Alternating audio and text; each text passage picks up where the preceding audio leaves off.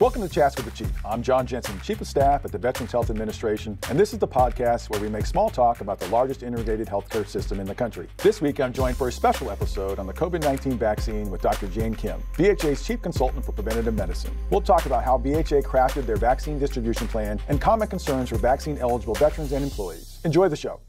Dr. Kim, thank you so much for joining us today. It's great to have you here, and I'm so looking forward to trying to learn some more about vaccine and the vaccine, vaccine distribution plan. Before we get started, why don't you tell us a little bit about yourself? Yeah, hi, Jon. Thanks so much for having me. So, um, my name is Jane Kim, and I'm the VA Chief Consultant for Preventive Medicine.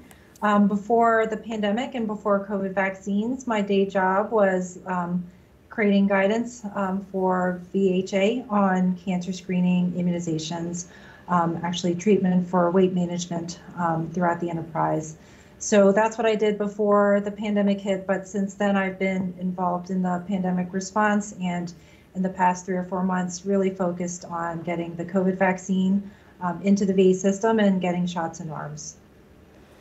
Great. Well, again, thank you for all you've been doing to get that together. It's been great.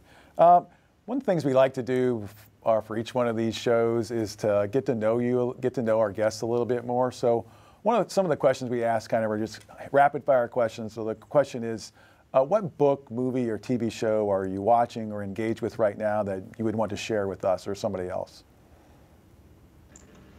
Right. So I've been reading a book um, very slowly, but I have been making my way through it. That's been out for a while, but I've heard a lot about um, called Little Fires Everywhere. Um, it's a novel, and it's, um, I think, taking you through a story which um, really kind of um, looks at um, race and class and the complexities about that.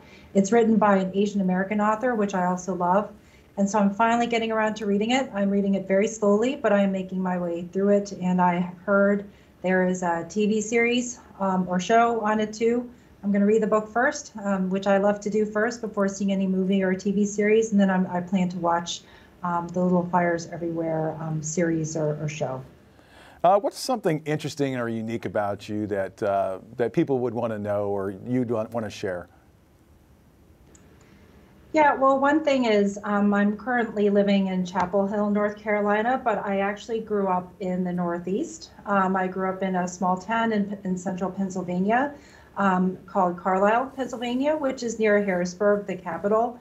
So I spent my early childhood there. So, um, you know, whenever I think about RVAs in smaller towns, um, it, it hits home to me because that's uh, kind of a setting where I grew up as well. Very rural. Um, you kind of knew everybody and, and, saw everybody at the grocery store. Um, so I just kind of wanted to point that out that that's where I grew up for most of my kind of early childhood. So is Carlisle where Carlisle Barracks is at, which is an a small army post? It is. Interesting. That is one of the claims to fame, and Dickinson College is the other. Oh, okay. And that's about it. Uh, well, I know of both. I've never been there, but I know of Dickinson College as well as Carlisle Barracks, which is, I think, where they send in the Army majors to become lieutenant colonels, something like that. So it's a great education space that I know that many people have talked about before. Uh, what lesson or piece of advice have you receive that you kind of either fall back on or like to share with others? It's kind of your go to advice piece. Yeah, one thing that um, maybe no one told me, but I, I kind of picked up over time is, you know, when you're a leader, you need to take care of your people. And so I think I, I don't think anyone told me that, but I noticed when leaders did that, um, it really helped to move along the mission but also help people feel supported and to do above and beyond. So that's something I've, I've seen and admired in people that I've worked for and that I try to do now. So I, I think that's the biggest thing that I think of every day is how can I take care of my people and make sure they are supported. Well, I'd, I'd say that you're working on taking care of 362,000 people, so I think you're doing a great job. Thank you. So, how did you first get into medicine? Was that like a lifelong dream, or is it something that kind of changed or happened? Yeah, you know, it was not a lifelong dream. I um, gravitate towards the arts and literature, kind of based on what I like to do. And so medicine was never in the picture growing up. I, I love fine arts. I love um, you know, reading. Um, I was an English major in college. But I think what changed my mind was um, the fact that I'm also very practical, and the arts and literature are not quite as practical for a career as I would have wanted. And I also took a class in college that was on public health um, and focused on international public health, and I loved it. Just the fact that you were able to do simple interventions, but it could save uh, thousands and even millions of lives um, was incredible. So I just love that impact and thought, okay, this is what I want to do. So um, becoming a physician, it it kind of marries the clinical, seeing people face to face with the population approach. Right. So I went into medicine with always with the intent to also do public health, which is what I'm doing now. Yes, and, and again, doing it well. Uh, did you ever expect that you'd be running the vaccine distribution plan for the largest healthcare care system in America? Of course, I didn't. it is a huge task. Um, I will say um, last year when I heard the COVID vaccines were in development, I thought, oh, that's cool. That's exactly what I need or what we need. But I had no idea I'd be leading the effort for the VA. So that was a complete shock. But um, stepping back from it, it's um, what I was trained to do, and I'm happy to serve. Um, when I thought even before the pandemic about what makes the biggest impact in preventing disease and death, vaccines are up there. And so to be able to lead the charge in VA to um, get these vaccines out to protect um, all of us is, is just amazing and, and just a true honor. Well, uh, so how do you think, or how did you get involved in, or how did you begin to plan how this vaccine distribution plan would work? Maybe you can describe for us how that whole process came to be. Yeah, yeah, that's a great question. So I think what happened in the beginning is that we knew that there were going to be COVID vaccines coming out, but then you start to think through how do you get shots in arms? And there's a lot between a vaccine coming out um, in the public sector and getting the shot in the arm. And so part of what my job was and continues to be um, is to think through systems and what is needed in each part of our system to make this work. And so, uh, you know, in my mind is just walking through the process and identifying what the needs are at each step and getting the right people on board to develop that step up and to coordinate it. So um, just for example, um, we knew from the outset working with CDC that we would need uh, to get them data on every dose of vaccine that we administered in VA. So then the question is, how do we get that data and how do we transmit it? And so a data team was formed to um, work that. And so the same thing goes for the staff education. Um, how will they know what's special about these vaccines? How should they handle them? These are very different vaccines from any vaccines we've seen before. So how do we get them training? Um, we stood up a team to do that. And all the teams needed to talk to one another. And so it was a lot of uh, smaller teams coming under a big umbrella to make sure we got it all ready for um, all of our colleagues who are doing all the hard work right now to actually put the shots in arms. Yeah, and so you had mentioned before about uh, in in your in it, you're working with CDC in order to create this plan and, and, as well as to pass on information to them. So tell us about how those kind of um, meetings would go or went about who gets what, how much vaccine is distributed, and how many how many doses have already been you know, manufactured, and how does that all work? Yeah, so what happened last fall is that we met with CDC weekly and probably emailed with them every day to find out what was going on because, as we all know, things like rocketed uh, away with vaccine development all the way through to their um, authorization from the FDA. So every day there were updates. So our team, key leaders from our team met with CDC every week um, and, and email back and forth whenever there was something new coming. And they would tell us, for example, um, uh, the Pfizer vaccine needs ultra cold storage. So you guys need to buy freezers. And so we worked that. So every time we got new information or changes in information, we um, put that into our plans and developed that out into what the field would need. Um, so that was the coordination we did with CDC. Um, uh, you know, the other thing that I think I'll mention is that um, as we got information from CDC, we tried to translate that into um, how will our staff in the field know this information and give them enough um, lead time to prepare.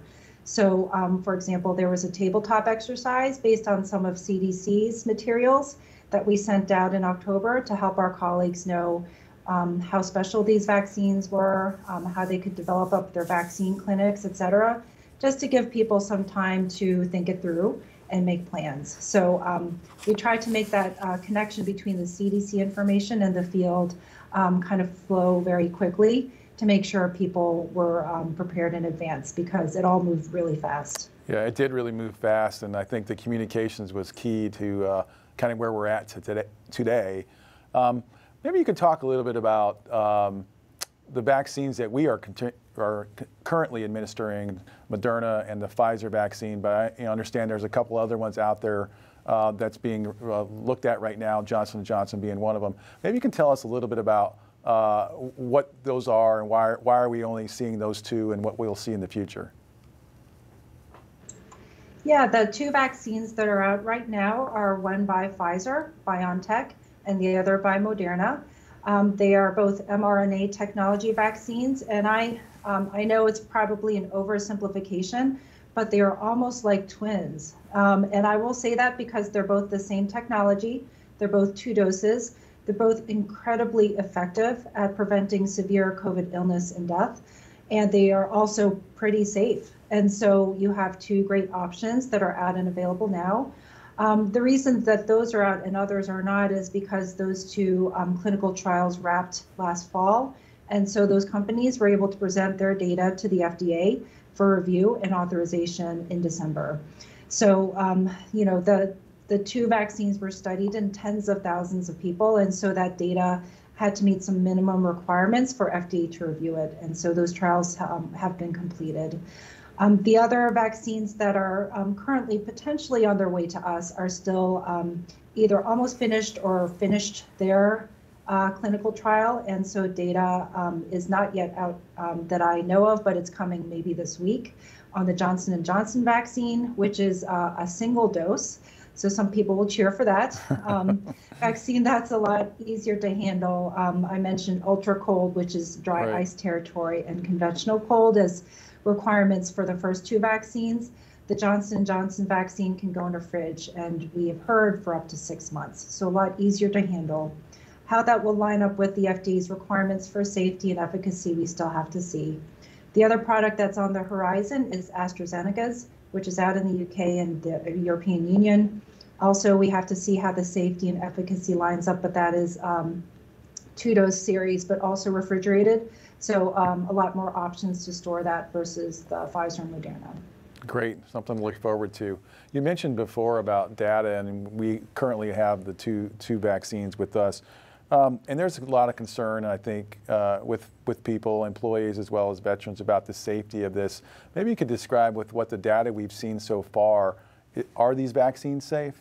Are we seeing any concerns? Um, I will say that um, from the clinical trials and from our experience so far, these Pfizer Moderna vaccines are safe and effective.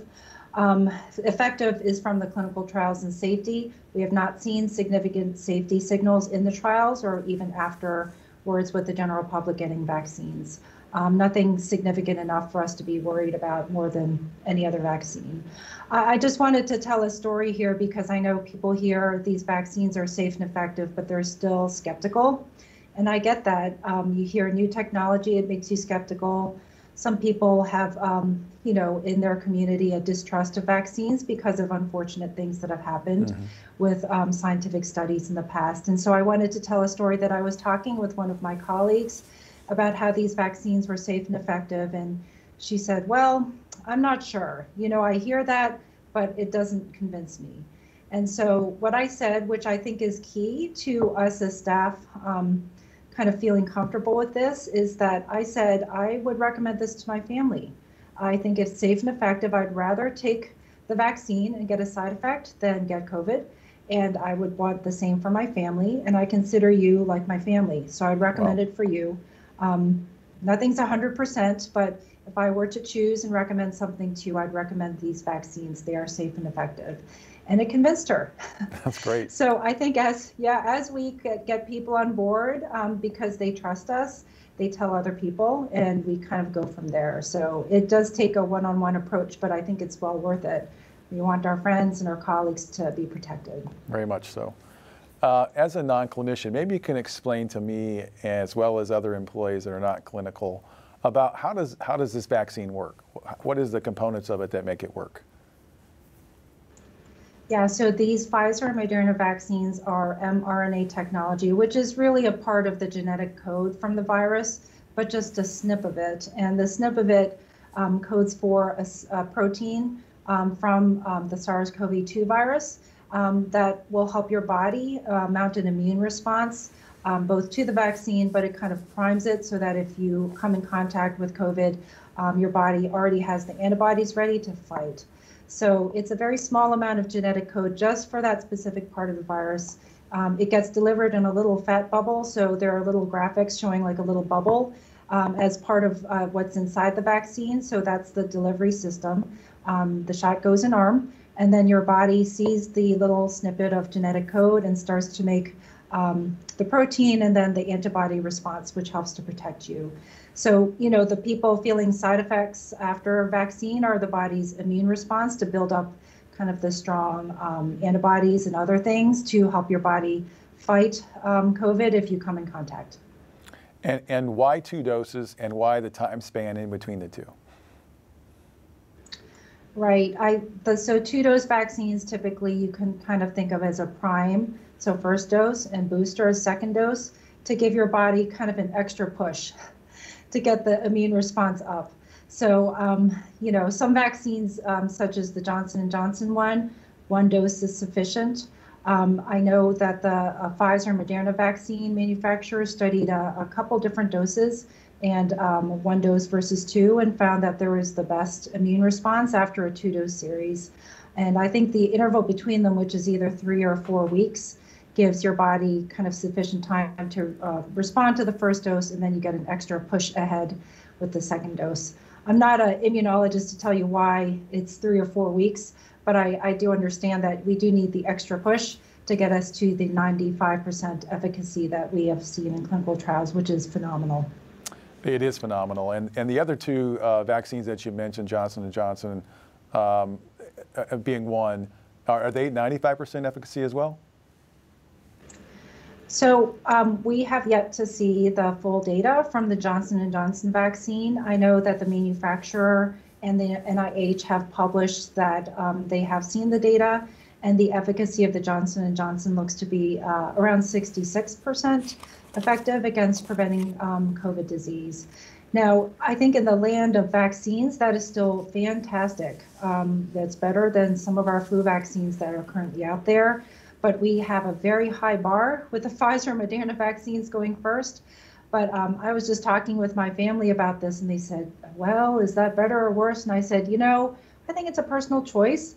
And these days, with so many people getting COVID, um, you know, uh, would you rather get a shot and have that level of protection um, versus potentially get COVID? I think it is a choice. But um, these vaccines, as far as I can see, the Johnson and Johnson are still very effective and a great option. Great. So, uh, where are we seeing right now for employees and veterans for acceptance rate? Uh, is it is it better or worse than it was before, and do we anticipate it getting better in the future? Right. So I, I think acceptance rate is really the shots in arms, and so you um, can say, well, um, were people hesitant or not, and were they before or after? But if they got a shot, I think they're not hesitant anymore. So I just looked at the data today, and you know, it looks like more than um, 240,000 employees have gotten at least uh, their first dose of vaccine, and that's terrific. Even more have gotten the full series. And so, um, you know, I think in terms of essential employee vaccination rates, we're, we're, we're moving up every day. Um, I, you know, I, I, hesitate to kind of put out there what the numbers are because um, I, I, think we're moving out from the essential employees, which are healthcare personnel, to other employees getting vaccine as well. Um, but I think the response has been tremendous. Um, you know, with a lot of people getting vaccinated even in the first month, and then more coming on board to get vaccinated now. I I feel like people are always knocking down the doors to try to get vaccine. Yeah. and so I think it's a good thing. Um, the numbers for employees keep on going up. For veterans, um, I'm just looking here, it's 824,000 have gotten an initial dose and, uh, you know, more have completed the series. So we've passed the 1 million mark of doses administered yep. for veterans and staff this week. Um, that's a lot of vaccine. And I think it seems like people keep on knocking at the door and saying we want it. So I'm I'm hoping that the um, the enthusiasm is is uh, contagious, and you know, with the rates we have, that will push those higher as more and more people say, "I got it, I feel fine." Why don't you go get it too? Yep. And I think you, you also are able to feel a little bit more safe, even just being out and about and, and doing normal activities that we may not have been able to do before. And as people begin to hear or see about people feeling more safe doing that, maybe that will add on to other people wanting to come in and get the vaccine. What, do you Absolutely. think? What do you think about? Um, you know, I saw yesterday that once we went over a million doses administered, that um, uh, the VA had administered more vaccine than 42 states had uh, administered, and that's quite a feat. And again, mostly attributed to you and the plan early on of how we were going to get this distributed. But uh, what what do you think is going on in the communities, or what can we do to help get more vaccine and get shots in arms, as you mentioned?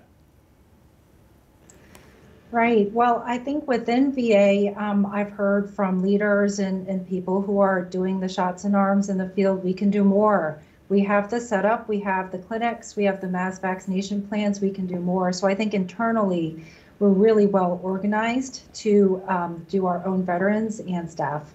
I, I think what's um, been on the table because we've done so well with that is that can we take our people um, and take our systems and help others uh, in states and jurisdictions where they have need.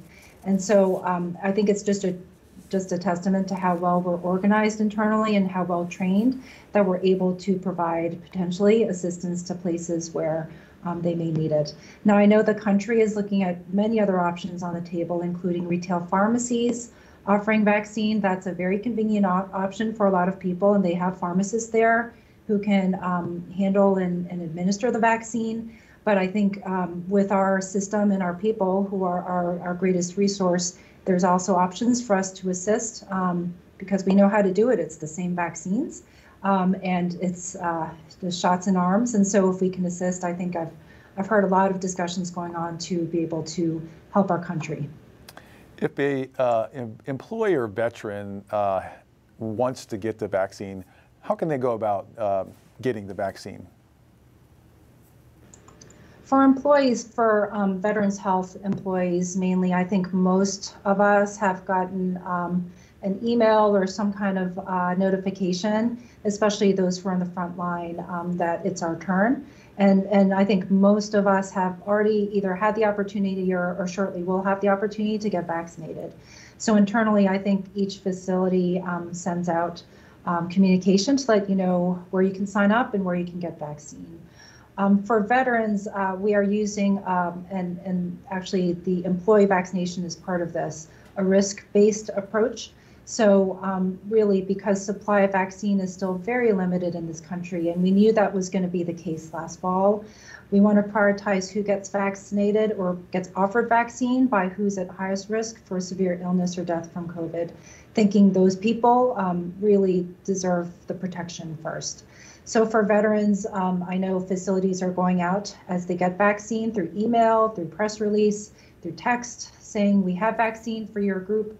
Um, most of the groups being offered vaccine now are, are, oldest veterans who are 75 and older.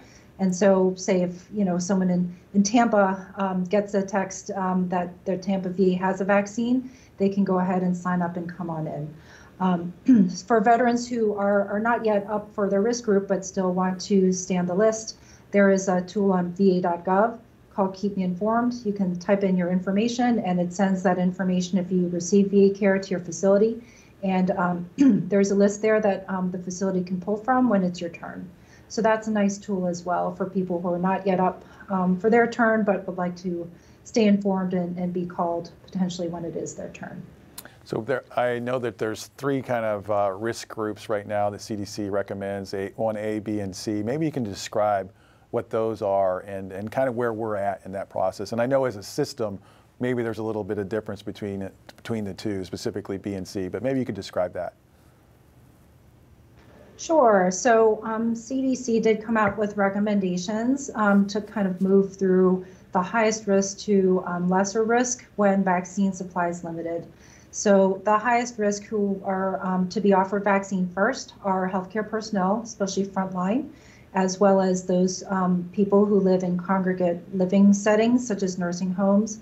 And so in VA, we followed that and offered vaccine first to our healthcare personnel with those who are on the front lines, um, such as emergency department and ICU first, and also our veterans living in um, community living centers and spinal cord injury units. Um, so that was the first tier, um, very vulnerable, high risk population. We, of course, need our healthcare personnel to keep our systems going, as was evidenced by the unfortunate surge um, post holiday. Um, so that's 1A, CDC. After that is 1B, um, and in CDC's 1B as well as VA's, it's the oldest um, veterans, so 75 and older. Um, we've seen throughout the pandemic that the older you are, unfortunately, the worse your outcomes are from COVID. And so, um, based on that information, it made sense to have those who are our very oldest, including a lot of our veterans, to be able to receive vaccine first so they have that protection. Um, see, um, VA also chose to elevate some of our other vulnerable populations, such as our transplant patients, our dialysis patients, um, those receiving chemotherapy, and, and, homeless veterans into 1B, thinking that they um, are also very vulnerable and need that protection. Um, the last phase um, is 1C, and that these phases are just when vaccine supply is limited. Um, but 1C is, is our veterans who are 65 to 74, so getting a little bit younger here, but still a lot of Vietnam era veterans in there, um, as well as those veterans and people who are less than 65 but have a high risk medical condition that puts them at high risk for severe illness or death from COVID, such as chronic lung disease, chronic heart disease, or diabetes, and there are other risk factors. So that is a big group in 1C. Mostly in VA, I think we're still in 1A and in 1B, but um, there are some places which have moved to 1C as um, Dr. Stone authorized people to be very flexible with the phases because um, the vaccine expires six hours after you draw it out of the vial. Right. So if you need to get it to more veterans um, because you want to use it, go ahead. And that makes a lot of sense too. So we are moving through phases pretty quickly, but still mainly in 1B. But I, I think there are 1C as well who are getting vaccinated. And I think probably in February and March will be pretty squarely in 1C. Great, and that's really always dependent on the amount of vaccine that we have available. And you anticipate that that continues to increase as uh, manufacturing increases um, on both of those, as well as the additional vaccines, hopefully, to come on board. Yeah, that's what I've heard. Um, both Pfizer and Moderna are supposed to be ramping up production, and we've already seen some increases. Um, but I've heard that the um, true kind of big leaps will happen in February, March. So certainly more vaccine for our country and for VA. And with the additional products, if they get authorized by FDA, even more to come. And I know that the um, uh, dose counts are supposed to reach um, pretty significant high numbers by summer. Um, boy, I can't wait till summer to see that happen because we will then be able to offer vaccination pretty widely to the general public um, outside of those who are at highest risk. So um, boy, I, I'm just waiting for June and July because that will be a very happy time from my perspective. So, yeah, from your perspective, what's kind of the I'm gonna say the magic number when you we hit kind of herd immunity, uh, maybe in the system, but in the country? Yeah, that herd immunity number of, of percent of people in the population who would need to be vaccinated, it really varies. And so I hate to kind of pin it down because I think it also depends on it depends on so many things, and these are all estimates, but it depends on how well we do at getting our caseload down, which depends on how well we do the masking, distancing, and washing our hands. So it's almost like you have these different variables all feeding into a formula, and everyone's kind of guessing to see yeah. what it'll take, but really proof is what happens. Um, you know, I've heard anywhere from 50, 60, 70, 80% vaccination might be required, but I Um, I would love to kind of see where we actually land on that. It depends on the vaccine, but also on um, the level of disease we have. So um, we'll see. But I think uh, the goal to get as many people vaccinated as, as possible is just what we need to do. Yep. Aim as high as you can, and where we land, um, hopefully that'll be enough for herd immunity sooner rather than later. Yeah, of course. Um, we've talked a lot about um, getting shots in arms. So, um, you know, I've heard some people talk to. Does that mean that we should be able to see by June, July, no need to wear a mask, or is that is that true or not true? You get the get the vaccine, you still need to maintain your uh, wearing masks and social distancing? Yeah, you know, we still have to do those things. I think um, I wish um, we could take off masks. In fact, I was watching a little bit of a soccer documentary. My kids play soccer yesterday, and it was filmed last February and March in Europe. And I was like, it's so weird to see people without masks in public and how the world has changed. Um, but we do need to wear our masks and, and continue to do all those good things because um, the trials that studied the vaccines, they tell us how well the vaccines protect the individual person who got it, but it doesn't tell us whether you are at less risk for transmitting COVID to others if you happen to get it. Um, and if you don't even have symptoms, can you still give it to other people if you end up getting um, infected with SARS CoV 2? So, because we don't know much about whether it breaks the chain of transmission, um, everyone is still advised to do all those same things with wearing masks and such. Now, most likely, uh, the vaccine does break the chain of transmission, but without the science to back it up, you hate to, um, you know, let your guard down during a pandemic. Yeah. So we are still doing all those things and buying more masks, you know, every week to replace the old ones. But right. um, I, am happy to do it just because, uh, you know, we don't want to go back to where we were even a few weeks ago after the holidays. Right. And it's become commonplace, and I, I, can't imagine here in DC getting on the metro without a mask on ever again. Uh, maybe that'll change someday, but I don't imagine it happening. Um, you had mentioned before about um, the, the need to um, uh, get additional vaccine and, uh, and get shots in arms. Um, but is there a, a way? Um, that non uh, veterans or employees can get the vaccine from the VA, or is that not included in any kind of numbers that we're getting or availability that we're getting a vaccine? Well, you know, the one population that's worth mentioning of non veteran, non employees is uh, the primary and secondary caregivers in the program of comprehensive assistance for family caregivers. Um, those caregivers are authorized to get vaccine. There is current legislative authority to do that, and Dr. Stone did authorize that. And so that's a great, fantastic thing. Those caregivers are pulling a heavy load. Um, and so when their veteran is eligible to get vaccinated, they can come in and get a vaccine too.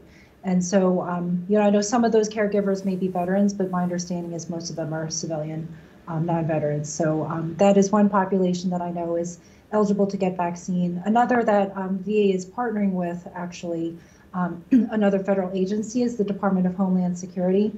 And so those employees who are out in their field, who are supporting all of us um, through Customs and Border Control, through FEMA, um, and, and such, they need vaccine too. They are certainly essential to the security of our country. And so VA is partnering with Homeland Security to get vaccine to many of their personnel out in the field um, as uh, DHS does not have a, a, medical component to administer vaccine. So those are two big groups that I know are, are in play right now. Um, there's a lot of discussion because everyone out there has done such a great job with vaccinating to see if we can extend to um, reach others as well, whether it be coming alongside a state um, to help them, say at a mass stadium event, or doing other uh, kind of partnerships to work through FEMA. I know all of that is, is in the works, and I bet we'll see a lot of that this spring. But the two that I spoke about, the caregivers and Homeland Security, are what we're currently working on and kind of extending our, our resources to serve those populations. And does the Department of Homeland Security, they, they get their own allocation of vaccine? It's not an allocation that, that we're using our own to support them, but that's their allocation of vaccine, is that correct? Exactly, and that's such an important point. I think people, you know, fear that are we using our vaccine to vaccinate people from other federal agencies because there's just so little vaccine to go around and people worry. But yes, Homeland Security has their own vaccine allocation. Um, we do have a formal partnership with Homeland Security, and through that partnership, um, Health and Human Services gave VA the vaccine doses that were for Homeland Security. So those are added to what we have for our staff and veterans. We're not taking out of our pot. Um, we are getting theirs to administer to them. So that's a really good thing. Um, we are just helping them with the storage and administration arms, which they don't have, but they pretty much gave us their vaccine to help them. Okay. Uh, one of the numbers or things that I've been watching um, from through, since the summer, really, or the beginning of the summer, uh, was our employees unable to work uh, because of the infection of, of COVID. And uh, I don't know if you'd seen these numbers, but we were above 6,000 here about a month ago, a little bit longer than a month ago. And uh, and I believe because of uh, the vaccine administration that uh, we've cut that less in more than half actually, and we're down around you know 1,500 unable to work today, where we were above 6,000, maybe not even a month ago. Do you, do you, have you seen those or do you have any way of knowing? I mean, I think it'd be a pretty good example of how the vaccine works if we ever reduce those numbers so significantly in a short period of time. Yeah, I've seen those numbers. They get briefed to um, senior leadership every day. And, and someone just remarked um, earlier this week, this is amazing. it just is phenomenal. There was even something, I think, out of VISN 1 where they studied people, um, staff who had been vaccinated and those who hadn't, to see how um, you know those people were doing with getting COVID. Um, and the the curves kind of went you know like this: people right. who got vaccine, you know, uh, weren't getting COVID, and those who were were were getting COVID. So it was just it was just an incredible testament to how well the vaccine is working. Even after one dose, we think there is partial protection, but people getting the second dose is even better. So um, that just warms my heart because yeah. it means everyone who's been working incredibly hard and you know really putting themselves at risk um, is is I think getting really good protection from this and that fear and that stress of going in every day. I hope people are feeling a little less of that, knowing that they have great protection through the vaccine. Yeah, I, as you mentioned, I think that that proves that it works. And, and that's what we need to get everybody in to get vaccinated. Dr. Kim, we come to the end of our time. Anything you want to close with, any thoughts that you wanted to share? Right. Well, you know, I, I think I do want to speak to those people who are still on the fence because those of you who've gotten vaccines obviously are, are you know, have, have bought in. But those of you who are not sure, um, I just encourage you to talk to someone who has gotten vaccinated and see what they thought. Um, you know, and, and if you have questions about it, um, you know, whether it's safe or effective, um, you know, talk to the people you, you, you work with um, or someone you trust or your own physician or, or provider um, to get their thoughts. Um, from my perspective, like I said, I um, would wholeheartedly recommend this to my patients, to my colleagues. I want people to be safe and protected. I don't say that about every service, actually. Some things I say, well, I'm not sure. There are pros and cons, um, maybe more pros than cons, um, but it's it's really your choice. But if I, I don't know if I'd recommend it to you. But for these vaccines, I would wholeheartedly recommend them. Um, COVID is no fun. It could be mild, but it could be life threatening. And so, would I rather see my friends and colleagues protected? Absolutely. And these vaccines are a great way to get that protection. Thank you, Dr. Kim, and thank you for taking the time to be with us today and sharing some insights about the vaccine and the vaccination uh, plan. Uh, thank you again, and sure appreciate it. And thank you, everybody, for watching. I hope you enjoyed today's show. A huge thank you to all of you for listening, and a special thank you to Dr. Kim for her time. Join us for our next episode where we get a chance to chat with Mr. Chris Sandles, Director of the South Texas Veterans Healthcare System. See you next time.